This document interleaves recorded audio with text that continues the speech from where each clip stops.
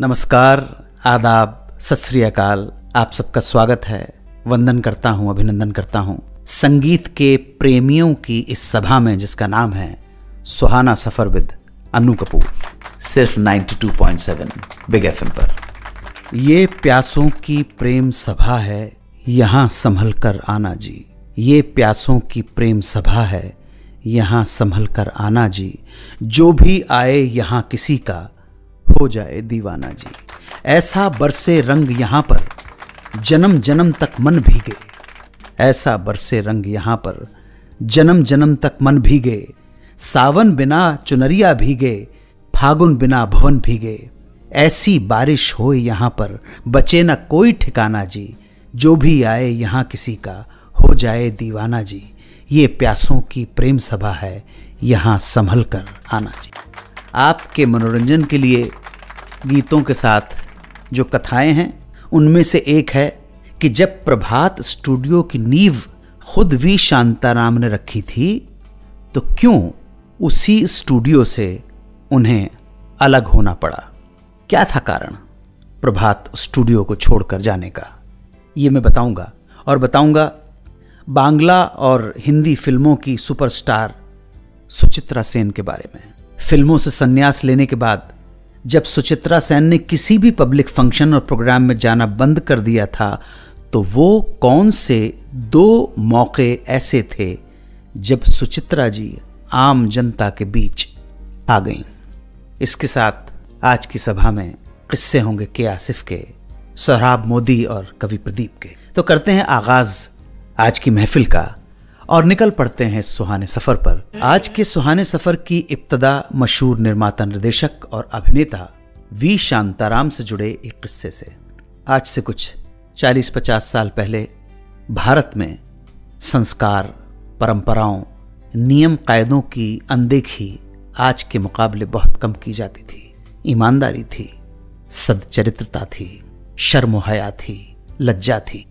और इन्हीं की वजह से शायद उस समय का समाज और समाज में रह रहे अधिकतर लोगों के चरित्र काफ़ी साफ़ सुथरे हुआ करते थे। आज मैं आपको भारतीय संस्कृति और मान मर्यादा परंपराओं में विश्वास रखने वाली एक फ़िल्म कंपनी से जुड़ा किस्सा सुनाना चाहूँगा। ताज्जुब की बात है, फिल्मी लोगों को समाज के तथाकथित कुछ शरीफ लोग कहते हैं, अरे, ये तो ऐसे ही हैं। लेकिन फिल्मी कंपनी का मोरालिटी पे कायम रहने का किस्सा।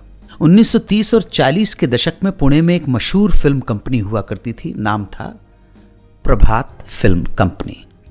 Prabhat film का निर्माण किया था मशहूर निर्माता, निर्देशक और अभिनेता वी शांताराम और उनके चार साथियों ने। प्रभात फ़िल्म कंपनी के बैनर तले मराठी की पहली टॉकी फ़िल्म, अयोध्या च राजा और भारत की दूसरी रंगीन फ़िल्म, सैरंध्री के अलावा अमृत मंथन, धर्मात्मा, अमर ज्योति, संत तुकोराम, दुनिया ना माने, गोपाल कृष्ण, आदमी संत ज्ञानेश्वर और पड़ोसी जैसी मशहूर फ़िल्में बनी थीं। इन फ़िल्मों में से ज़्यादातर फ़िल्मों का निर्देशन वी. शांताराम ने किया था। लेकिन संस्थापक सदस्य होते हुए भी 1942 में वी. शांताराम को अपनी इस कंपनी को छोड़ना पड़ा, जिस पौधे को सींचा था, दरख्त बना दिया था, उसका ही साया छोड़ना पड़ा। कारण? कंपनी के नियमों का उल्लंघन। दरअसल प्रभात फ़िल्म कंपनी के सभी संस्थापक महाराष्ट्रियन थे, मराठी भाषी थे। पूरी तरह से भारतीय परंपराओं और संस्कृति में दृढ़ आस्था और विश्वास रखने वाले लोग थे। इन सभी ने मिलकर कंपनी के लिए कुछ खास, विशेष नियम बनाए थे, जिनका पालन करना हरेक का प्रथम कर्तव्य हो जाया करता था। पहला नियम यह था कि प्रभात फ़िल्म कंपनी से जुड़े सभी लोग सदचरित्रता का पालन करेंगे, चरित्रवान होंगे, नैतिकता का, संस्कृति का ऊँचा एग्ज़ाम्पल, उदाहरण सामने रखेंगे। दूसरा नियम यह था कि कंपनी में कोई भी शादीशुदा अभिनेत्री नहीं रखी जाएगी और इन दोनों ही नियमों के पालन में वी शांताराम असफल हो गए। हुआ यूँ था कि साल 1941 में वी शांताराम ने प्रभात के बैनर में फ़िल्म पड़ोसी शुरू की। तो उसमें हीरोइन के लिए लिया उन्होंने एक नई अभिनेत्री को, जिसका नाम था जयश्री। फ़िल्म की शूटिंग के दौरान ही जयश्री और वी शांताराम के बीच में हो गया प्यार, और दोनों ने कर ली शादी। वी शांताराम और जयश्री की शादी से प्रभात में खलबली मच गई, क्योंकि वी शांताराम पहले से ही शादीशुदा थे, और उनकी पत्नी का नाम था विमला ताई। जिनसे उन्होंने 1922 में शादी की थी। इन्हीं विमला ताई की सुपुत्री हैं मधुरा जसराज, पंडित जसराज की पत्नी, दुर्गा जसराज की माँ। वापस आते हैं वी शांताराम पर अब पहले नियम के मुताबिक पत्नी होते हुए दूसरी से शादी करना उच्छृंखल चरित्र का प्रतीक माना गया। और दूसरे नियम के मुताबिक शादीशुदा अभिनेत्री प्रभात में नहीं रह सकती थी, इसलिए प्रभात के पार्टनर्स ने जयश्री पर प्रभात छोड़ने का दबाव बनाया। उधर कंपनी के बाकी लोग भी वी शांताराम की शादी का विरोध कर रहे थे, सो मजबूरन वी शांताराम को अपनी ही बनाई प्रभात फ़िल्म कंपनी को छोड़ने का फैसला लेना पड़ा। ये उस वक्त के लोग थे जहाँ नैतिकता, परंपरा, संस्कृति और जीवन के मूल्यों का बड़ी आस्था और दृढ़ता के साथ पालन किया जाता था। और इस परंपरा, इस उसूल के सामने बड़े से बड़े आदमी को भी झुकना पड़ता था। चाहे वो वी शांताराम भी क्यों ना हो। वापस आकर बताऊँगा कि फ़िल्मों से संन्यास लेने के बाद जब सुचित्रा सेन ने किसी भी पब्लिक फ़ंक्शन और प्रोग्राम में जाना बंद कर दिया था, पूरी तरह से अवॉइड कर दिया, बैन कर दिया पब्लिक अपीयरेंस तो वो ऐसे कौन से दो मौके थे जब सुचित्रा सेन आम जनता के बीच आई? सुचित्रा सेन के जीवन की यह घटना आपको सुनाऊँगा बस थोड़ी ही देर में। आप सुनते रहें सुहाना सफ़र विद अनु कपूर। सिर्फ़ 92.7 बिग एफएम पर। सुनते रहिए रेडियो का number one show Suhana Safar with Anu Kapoor सिर्फ़ 92.7 बिग एफएम पर। बांग्ला फ़िल्मों की एक बहुत बड़ी स्टार सुचित्रा सेन। 1953 से 1978 के 25 सालों के करियर में सुचित्रा सेन ने कुल चौवन बांग्ला फ़िल्में की। उत्तम कुमार और उनकी जोड़ी को बॉक्स ऑफ़िस पर श्योर शॉट हिट की गारंटी माना जाता था। सुचित्रा सेन की चौवन बंगला फ़िल्मों में से 30 में उत्तम कुमार ही उनके हीरो थे। सुचित्रा ने बंगला फ़िल्मों के अलावा सात हिंदी फ़िल्मों में भी काम किया। देवदास, मुसाफिर, चंपकली, बंबई का बाबू, सरहद, ममता और आंधी। जब वो फ़िल्म इंडस्ट्री में एक्टिव थी तो आम जनता में उनको लेकर बहुत दिलचस्पी थी। वैसे भी आम लोग फिल्मी कलाकारों में फिल्मी स्टार्स में बहुत दिलचस्पी रखते हैं और वो अगर आम लोग हिंदुस्तानी हो तो फिर क्या बात है? तो ये आम लोग उनके बारे में जानना चाहते थे, पढ़ना चाहते थे। लोग उन्हें देखने के लिए इकट्ठे हो जाते थे। और सुचित्रा सेन भी अपनी पब्लिक लाइफ में बहुत एक्टिव थी। मगर साल 1978 में अभिनेता सौमित्र चटर्जी के साथ आई बांग्ला फ़िल्म प्रणय पाश के फ्लॉप होने के बाद न सिर्फ़ उन्होंने फ़िल्मों से संन्यास ले लिया, बल्कि पब्लिक लाइफ से भी किनारा कर लिया। किसी पब्लिक फ़ंक्शन या गेट टुगेदर में जाना बंद कर दिया। प्रेस, पब्लिक, सब बॉयकॉट। उनके बारे में कहा जाता है कि फ़िल्मों से संन्यास लेने के बाद अपने आखिरी वक्त तक, यानी 35 सालों तक वो किसी भी बाहर के व्यक्ति से नहीं मिली, किसी फ़ंक्शन में शामिल नहीं हुई, शादी ब्याह में नहीं गई, कहीं नहीं गई, सिवाय दो मौक़ों को छोड़कर। पहला मौका था जब वो उत्तम कुमार के निधन पर 24 जुलाई 1980 को उनके मृत शरीर पर फूल माला चढ़ाकर कुछ सेकंड के लिए वहाँ रुककर चली गई। इससे पहले कि लोगों को उनके आने की भनक पड़ती। और दूसरा मौका वो था जब 1982 में कोलकाता फ़िल्म फेस्टिवल में कभी कभार छुपकर फ़िल्म देखने चली जाया करती थी। आप यकीन नहीं करेंगे कि उन्होंने 2005 में भारत सरकार के दादा साहब फाल्के पुरस्कार को भी इसलिए लेने से इनकार कर दिया क्योंकि उन्हें यह पुरस्कार लेने के लिए दिल्ली के समारोह में हिस्सा लेना पड़ता। उनकी इस तरह से जनता से दूर हो जाने की कोई बड़ी वजह तो सामने नहीं आई है। मगर यह सच है कि उन्होंने फ़िल्मों से संन्यास लेने के बाद पब्लिक प्रेस सबसे किनारा कर लिया था। यहाँ तक कि जब सुचित्रा सेन का निधन 17 जनवरी 2014 की सुबह कोलकाता के एक अस्पताल में हुआ, तब भी उनकी इच्छा को देखते हुए अस्पताल ने बाहरी लोगों को उन तक पहुँचने नहीं दिया।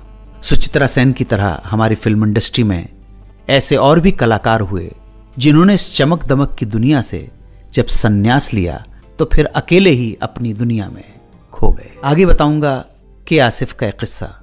के आसिफ कभी अपने काम में समझौता नहीं किया और इसी वजह से उन पर प्रोड्यूसर्स के पैसों को बर्बाद करने के इल्ज़ाम भी लगे। मगर क्या के आसिफ जब खुद अपनी फ़िल्म प्रोड्यूस कर रहे थे, तब भी उनका एटीट्यूड ऐसा ही था? हर काम परफेक्ट होना चाहिए? या वो पैसे की बर्बादी की वजह से समझौता कर लिया करते थे। सच क्या था बताऊँगा? ब्रेक के बाद आप सुनते रहें सुहाना सफ़र विद अन्नू कपूर सिर्फ़ 92.7 बिग एफएम पर। सुनते रहिए रेडियो का number one show Suhana Safar with Anu Kapoor सिर्फ़ 92.7 बिग एफएम पर। सुहाना सफ़र के इस पड़ाव में मैं आपको सुनाऊँगा किस्सा के आसिफ का। मुगल आज़म को देखकर यह बात ज़ाहिर हो जाती है कि के आसिफ ने फ़िल्म मेकिंग में किसी तरह का समझौता नहीं किया। भले ही फ़िल्म को बनने में नौ दस साल से ज़्यादा का वक्त लग गया हो, हज़ारों का काम लाखों में हुआ हो, मगर उन्होंने कॉम्प्रोमाइज कभी नहीं किया। उनके इसी एटीट्यूड की वजह से मुगल आज़म के वक्त प्रेस और मीडिया ने उनकी बहुत आलोचना की। उनके बारे में अखबारों और मैगजीन्स में इस तरह की बातें छपती थी कि ये सरफिरा डायरेक्टर प्रोड्यूसर के पैसे को पानी की तरह बहा रहा है। अभी फ़िल्म आधी भी नहीं बनी है, मगर दो फ़िल्मों के बराबर पैसा खर्च हो चुका है। किसी ने पागल कहा, किसी ने सिनिकल कहा। मगर मैं आज आपको एक किस्सा सुनाऊँगा, जब आपको मालूम होगा कि सिर्फ़ दूसरे के पैसे के लिए ही नहीं, बल्कि जब खुद का पैसा उन्होंने लगाया, तब भी उन्होंने कोई कॉम्प्रोमाइज नहीं किया। परफेक्शनिस्ट थे, वही बने रहे। 1960 के दशक की शुरुआत में जब के आसिफ ने गुरुदत्त और निम्मी को लेकर लैला मजनू की प्रेम कहानी पर फ़िल्म लव एंड गॉड शुरू की तो बीच में ही गुरुदत्त के गुजर जाने से फ़िल्म अटक गई। कुछ सालों बाद उन्होंने गुरुदत्त की जगह संजीव कुमार को लेकर दोबारा उस फ़िल्म की शूटिंग शुरू कर दी। अब एक दिन हुआ यूँ कि फ़िल्म के सेट पर डेढ़ सौ के आसपास जूनियर आर्टिस्ट मौजूद थे। जगह जगह पानी के फव्वारे लगे हुए थे, ऊंटों के काफिले का बंदोबस्त भी था। सीन कुछ ऐसा था कि कुछ मौलाना कैस यानी मजनू की जात करते हैं। मैं आपको बता चुका हूँ कि मजनू का मतलब क्या होता है। अरबिक में मजनू का मतलब होता है दीवाना, पागल। लेकिन मजनू का जो नाम था, उसका नाम था Qais. Qais bin Amri, Qais son of Amri. तो सीन कुछ ऐसा था कि कुछ मौलाना कैस से पूछते हैं, उसकी मेंटल स्टेबिलिटी की जाँच करना चाहते हैं कि पागल तो नहीं है। इसके लिए उसे आईना दिखाकर पूछते हैं कि शीशे में अक्स किसका है? उसी वक्त पीछे छज्जे पर लैला आ जाती है, जिसका अक्स आईने में पड़ता है और कैस यक बयक चिल्ला पड़ता है। हाय लैला। अब इस शॉट के लिए घंटों तैयारी हुई, घंटों लाइटिंग हुई और फाइनली जब सब सेट हो गया तो सेट पर बुलाया गया मजनू को, यानी कि संजीव कुमार को। कि आसिफ ने एक नज़र संजीव कुमार पर डाली और जैसी कि उनकी आदत थी, हाथ में पकड़ी सिगरेट का एक गहरा कश लिया और कड़कती आवाज़ में बोले, बैकअप, सेट पर सांप सूंघ गया हो, सन्नाटा छा गया। लोगों की समझ में ही नहीं आया कि आखिर बात क्या है, कि आसिफ ने संजीव कुमार के कंधे पर हाथ रखा और बोले, तुम्हारी आँखों में थकावट नज़र आती है, लगता है ठीक से सोए नहीं हो। जाओ, जाकर सो जाओ। हम ये सीन कल करेंगे। मेरे हिसाब से तुम अभी तैयार नहीं हो।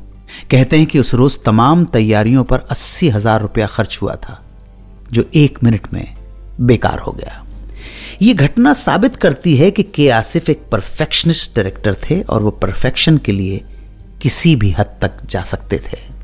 पैसा गैर का हो या अपना, परफेक्शन चाहिए था। किसी जमाने के मशहूर मारूफ प्रोड्यूसर डायरेक्टर सोहराब मोदी ने अपनी एक फ़िल्म के गीतों को लिखने के लिए एक बार बुलाया कवि प्रदीप को।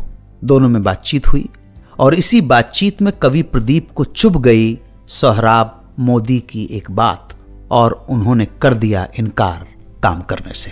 इस किस्से का खुलासा करूँगा। थोड़ी देर में आप सुनते रहे सुहाना सफ़र विद अनु कपूर। सुनते रहिए रेडियो का number one show Suhana Safar with Anu Kapoor, सिर्फ़ 92.7 बिग एफएम पर। 1930 और 1940 के दशक का एक बहुत बड़ा नाम था, सोहराब मोदी। सोहराब मोदी न सिर्फ़ मशहूर अभिनेता थे, बल्कि एक बेहतरीन मोस्ट सक्सेसफुल प्रोड्यूसर डायरेक्टर भी थे। उन्होंने मिनरवा मूवी टोन के बैनर में कई फ़िल्में बनाई, जैसे पुकार, सिकंदर पृथ्वी वल्लभ और झांसी की रानी। बड़े बजट की फ़िल्में हुआ करती थी हिस्टोरिकल फ़िल्म इसके अलावा कुंदन जेलर और मिर्ज़ा गालिब जैसी मशहूर फ़िल्में भी इन्हीं के बैनर मिनरवा के तले बनी थी। सोहराब मोदी बहुत रौबदार इंसान थे, बड़े कड़क आदमी थे। यहाँ तक कि उनके जमाने के बड़े बड़े लोग उनसे आँख से आँख मिलाकर बात करने की भी हिम्मत नहीं कर पाते थे। ऐसे ही उनका डायलॉग डिलीवरी का चलन हुआ करता था। उनकी शान शौकत का यह आलम था कि कमाल अमरोही जैसे लोग भी उन्हें अपने लिखे हुए डायलॉग सुनाने के लिए उनके पीछे पीछे चला करते थे। एक बार इन्हीं सोहराब मोदी ने अपनी फ़िल्म झांसी की रानी के गीत लिखने के लिए बुलाया कवि प्रदीप को। प्रदीप जी ने अपने एक इंटरव्यू में इस घटना का खुलासा करते हुए बताया था कि जब वो सोहराब मोदी के कमरे में पहुँचे तो उनके कैबिन की सजावट देखकर दंग रह गए। बेहद शानदार कैबिन था और सोहराब मोदी बड़ी सी मेज के पीछे एक आलिशान कुर्सी पर बैठे हुए थे। सोहराब मोदी ने बुलंद आवाज़ में प्रदीप जी से कहा झांसी की रानी के गीत आप लिखेंगे। स्क्रिप्ट में गानों का नेचर लिखा हुआ है। उन्हें कैसा होना चाहिए यह भी स्क्रिप्ट में बताया गया है। आपको सिर्फ़ वैसा ही लिखना है। धुने तैयार हैं, बस उनमें शब्द बिठा दीजिए। You can go now Sohrab Modi का इस तरह बोलना और इस तरह का अपमानजनक एटीट्यूड दिखाना प्रदीप जी को बहुत बुरा लगा। और किसी भी खुददार, स्वाभिमानी आदमी को इस तरह से बोली गई बात बिल यकीनन बुरी लगेगी। उन्होंने पलटकर सोहराब मोदी को जवाब दिया, मोदी साहब, जब आप सभी कुछ कर चुके हैं तो मुझे बुलाने की क्या ज़रूरत थी? नमस्कार, धन्यवाद, जय हिंद। और यह कहकर वो वापस निकल गए। प्रदीप जी बताते थे कि कमरे से बाहर निकलते वक्त उनके कानों में सोहराब मोदी की सिर्फ़ इतनी सी बात पड़ी थी, झांसी की रानी जैसी पिक्चर को ठुकराकर बहुत पछताओगे।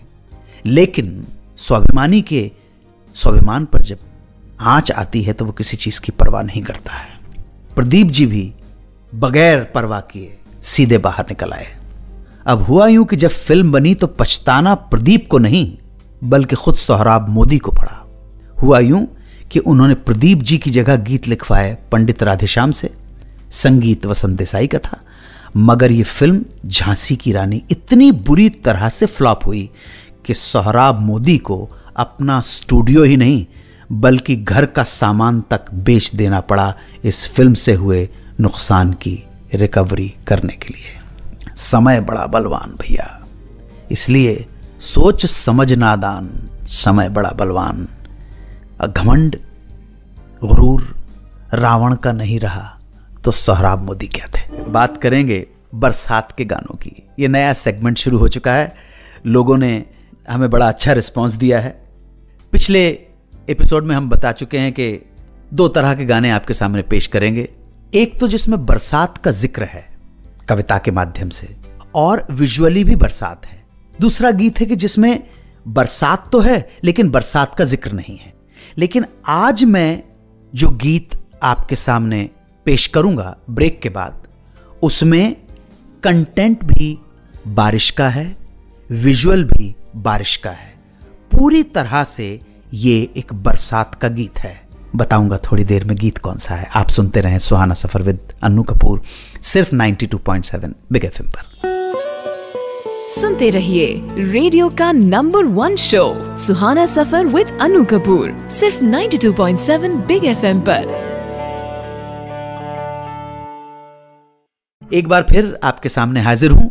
अभी मैंने कहा था कि वो गीत जिसमें बरसात अपनी समग्रता में है, वर्षा ऋतु अपनी पूरी समग्रता में है। कुछ गाने आप पाएँगे जिसमें गीत के जैसे धरती का एक गाना याद आ रहा है। ये मौसम भीगा भीगा है, हवा भी ज़्यादा ज़्यादा है, क्यों न मचलेगा दिल मेरा, तुमको पाने का इरादा है। इसमें कहीं भी कोई बारिश नहीं है। अगर गौर से विजुअल देखेंगे तो बहुत ज़्यादा हवा भी चलती हुई नहीं दिखाई दे रही है। लेकिन अब जो मैं गीत आपको सुनाऊँगा, उसमें कंटेंट और विजुअल दोनों में कंपैटिबिलिटी है। एक दूसरे के पूरक हैं। जो बोल हैं गीत के, वैसा ही दृश्य है। इस फ़िल्म का नाम है परख। गीत के बोल हैं, ओ सजना, बरखा बहार आई। Written by Shailendra composed by Salil Chowdhury and sung by great Lata Mangeshkar and picturized on another great Sadhana. इसका जो बांग्ला वर्जन है, वो भी साधना जी के ऊपर ही पिक्चराइज हुआ है। ना जेवना ये फ़िल्म डायरेक्ट की थी बिमल रॉय ने। अगर कभी इस गीत को देखने का आपको मौका मिले तो आप देखेंगे साधना जी ने सिर्फ़ एक टिक्की लगा रखी है। माथे पे एक बिंदिया है, एक साड़ी पहनी हुई है। गाँव का सेट लगा हुआ है, भरपूर बारिश है, ओ सजना बरखा बाहर आई। पत्तों के शॉट है, पत्तों के ऊपर पानी की बूंदे पड़ती हैं। पूरे गाने में जिस तरह से बरसात को चित्रित किया गया है और पूरे गाने में शैलेंद्र जी ने कविता के माध्यम से जो वर्षा ऋतु का और जो वियोग श्रृंगार का चरित्र चित्रण किया है, वो अविस्मरणीय है। ये गाना कमाल का गाना है। ओ सजना, बरखा बाहर आई। और इतनी सुंदर लगी हैं साधना जी, इतनी सुंदर लगी हैं। मैं आजकल की जो हीरोइंस हैं, उनसे अगर वो सुने तो उनको रिक्वेस्ट करूँगा कि इतना मेकअप करने के बाद, इतना बनठनने के बाद ज़रा सा ये गाना देख लेना, साधना ने कोई मेकअप ही नहीं किया, ज़रा सा आई लाइनर मारा होगा, बस काजल लगा लिया होगा और एक माथे पे टिक्की लगाई हुई, एक सीधी सिंपल सी साड़ी पहनी हुई है। भारतीय नारी जब साड़ी पहनती है और माथे पे बिंदिया लगा लेती है यार तो बड़ा अजीब सा लगता है। उसके आगे फिर दोनों जहान की अप्सराएँ, थोड़ी सी फेडेड लगती हैं। बहरहाल बात चल रही है परख की, परख, बहुत सुंदर फ़िल्म है। और बिमलदा को फ़िल्म फेयर का बेस्ट डायरेक्टर का अवार्ड भी इसी फ़िल्म के लिए मिला। बेस्ट सपोर्टिंग एक्टर का फ़िल्म फेयर का अवार्ड गया मोतीलाल जी को और बेस्ट साउंड रिकॉर्डिस्ट का अवार्ड गया जॉर्ज डी क्रूज को। ये फ़िल्म फेयर के अवार्ड से नॉमिनेट हुई थी ये बेस्ट फ़िल्म के लिए, लेकिन अवार्ड चला गया मुगल आज़म को। और आखिर में बिहार से एक पत्र मिला है सुनील कुमार जी का, और उन्होंने एक प्रश्न पूछा है। गुरुदत्त और वहीदा रहमान की जोड़ी की आखिरी फ़िल्म कौन सी थी और इन दोनों के रिश्ते खत्म क्यों हुए? बिहार के सुनील कुमार जी को जवाब दूँगा, थोड़ी ही देर में वापस लौटूँगा। आप सुनते रहें सुहाना सफ़र विद अन्नू कपूर, सिर्फ़ 92.7 बिग एफएम पर। सुनते रहिए रेडियो का number one show, Suhana Safar with Anu Kapoor, सिर्फ़ 92.7 बिग एफएम पर। बिहार के सुनील कुमार जी ने एक सवाल पूछा है।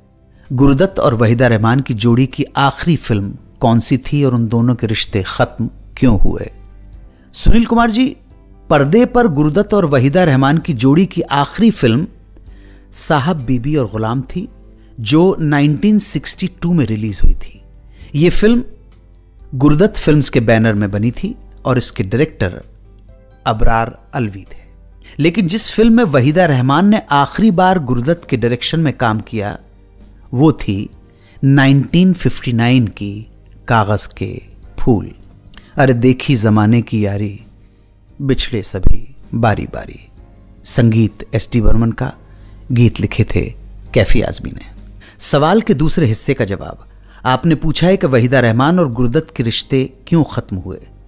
तो इसके बारे में बहुत सारी बातें फैली हुई हैं। कुछ अफवाहें हैं, कितना सत्य है, ये तो हम नहीं जानते हैं। मगर गुरुदत्त के खास दोस्त और लेखक अबरार अलवी की लिखी एक किताब के अनुसार गुरुदत्त को एक पॉइंट पर जब पता चला कि उनकी पत्नी गीता उनसे झूठ बोलकर किसी और के साथ छुट्टियाँ बिताने चली गई हैं तो उन्हें अपनी शादीशुदा ज़िंदगी मैरिड लाइफ शटर्ड होती नज़र आई।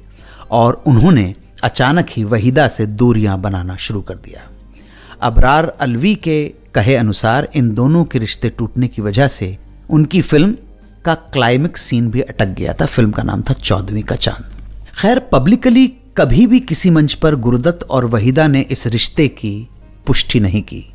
वहीदा रहमान ने हमेशा ही इस पर कुछ बोलने से यह कहकर साफ़ इनकार कर दिया कि ऐसा कुछ नहीं था। मगर इश्क और मुश्क छुपाए नहीं छुपते। गाहे, बगाहे फ़िल्म इंडस्ट्री में इन दोनों के बारे में अफवाहों का बाज़ार हमेशा गर्म रहता था। मैं वहीदा रहमान के इनकार की वजह समझ सकता हूँ। जब वो सेटल हो गई कमलजीत के साथ तो बात बनती नहीं थी। मैं कभी उनसे पूछूँगा भी नहीं। एक शादीशुदा औरत से कि भाई आपका गुरुदत्त के साथ क्या रिश्ता था? ये सवाल ही बेकार है। और मेरे हिसाब से अगर कभी वहीदा रहमान से कोई पूछ भी लेता तो उनको मेरे हिसाब से कहना चाहिए था कि मैं इस बारे में कोई भी बात नहीं करना चाहती हूँ। बात ख़त्म हो गई।